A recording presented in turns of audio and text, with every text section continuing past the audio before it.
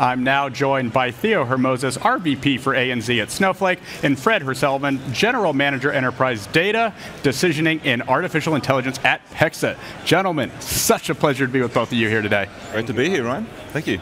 Fred, Pexa connects people, businesses, and governments across the property community. What's the data showing you, and are any trends emerging? What we're seeing, look, we're the first digital e-conveyancing platform globally. Um, and our mission is to connect people to place, be it governments, lenders, buyers and sellers. And what we're seeing is that they want to be better informed. They want to have more data around the properties that buy and sell. And so we need to be really at the forefront of delivering that data and those insights to our customers, to government institutions, and be that risk factors around property, right? Be that valuations around property or be that how the property is changing from a demographic perspective. What are those demand factors around property? But the trends we're seeing is people want to know more about it. People want to know more about their property, the data around their property, and there's this insatiable thirst to make informed decisions around place. And we think Pexa is beautifully positioned in that ecosystem.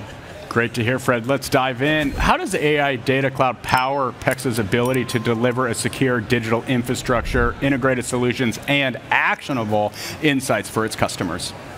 Well, we trust Snowflake inherently. They're one, kind of the key portion of our one data stack. And our one data stack really is this mesh network of different property data sets, both uh, locally in Australia and globally in the UK.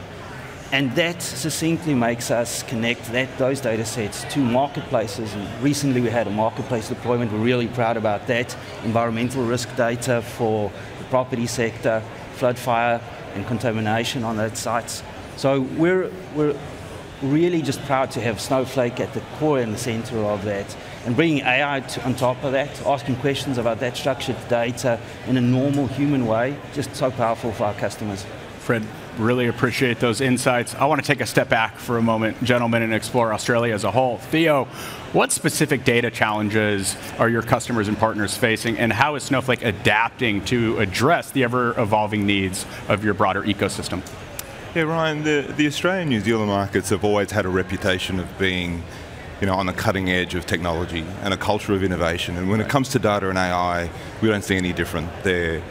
And the challenges that we're seeing are no different and dissimilar to other markets around the world.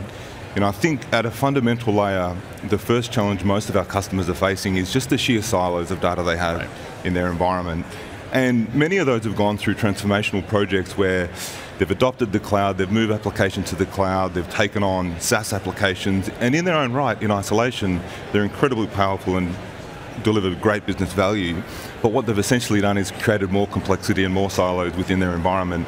And so the Snowflake platform has really adopted for them to bring in those data sets into a single location, whether it's structured, unstructured, or semi-structured data, they now all have that in a central location.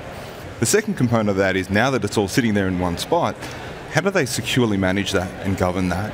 And so through the Snowflake platform, we're able, with Horizon, able to give them a clear line of sight where the data is coming from, where it's going, who's using it, how it's being used, and the controls around managing that as well. And in Pexa's scenario here, what was really important is to be able to share that data securely, internally and externally. So organizations like Pexa are using the marketplace to not only leverage those valuable data sets, but monetize those as well and help service their customers. And when we think about AI, that's what this week's all about. It's been an amazing uh, a week of announcements, and what we're trying to do is really lower the benchmark or the, the, the bar and the, the barrier to entry for AI with things like Cortex as well. I'm so glad you mentioned AI. It's very much top of mind here at Snowflake Summit, and the broader AI Data Cloud ecosystem is all around us. As it relates specifically to how leaders, specifically in the region, are incorporating this technology into their businesses, where do you see the most impact taking place? Fred, would love your perspective.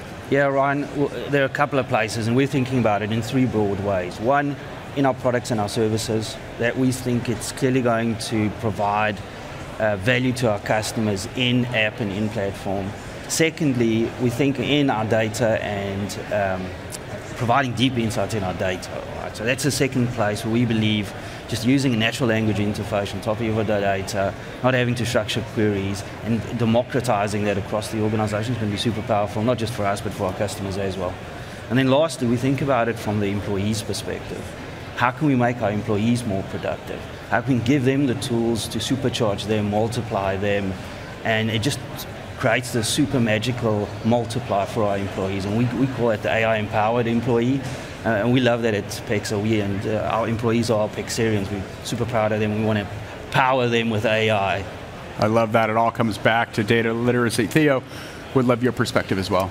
Yeah, look, I, I think it's, um, without a shadow of a doubt, it's probably the most transformational um, motion or, or, technology that we're going to see in our lifetime. Uh, every executive understands the potential impact and the benefit it can deliver to their organisations as well. And you've heard it a million times here, I think, uh, you know, and over the last few months, there is no AI strategy with, without a data strategy, and that's really important to understand. But when we actually get to the, to the nuts and bolts of it, there's a couple of categories that I'm starting to see emerge. The first is really around operational efficiencies in organisations. How do they, you know, a lot of them are going out there and building chatbots to help their own employees do their work better and faster and more accurately. Other areas, are, uh, in particular industries, they all change. So, for example, in manufacturing, how do we perform preventative maintenance on robotics and machinery? Or in retail, how do we optimize a supply chain? So, a, a ton of use cases that are happening. The second category is really around product innovation as well. We're starting to see organisations like Pexa build applications, leveraging AI and monetising those through the marketplace. It's a really exciting time. Well, gentlemen, I'm looking forward to seeing what's next to come out of the region. Thank you so much for joining me on Data Cloud Now. Before we go, what's next for Snowflake and Pexa? Fred, let's start with you world domination. no, uh, we, we're super proud of the strategy we have in place. Uh, we're nowhere done in completing that strategy. We still have deployments to do globally. We've done a small portion of our Australian businesses, and so we're going to continue on that pathway. We're seeing value in our, in our customer base. We're seeing a roadmap of products being developed and deployed to marketplace, and this will continue. The partnership's really strong. Today and over this week, the new announcements just solidifies that, and we're happy to bring those capabilities to our customers as well. Thank you so much. And Theo, from your perspective? Look, Pexa sit on, a, on a, an enormous amount of really valuable data. Um, and I think they've got a great opportunity through our work together to be able to get that into the hands of organisations that really need that the most. Super exciting. Well, gentlemen, thank you so much. How about next time we have this conversation, I come to you both. Come to Done.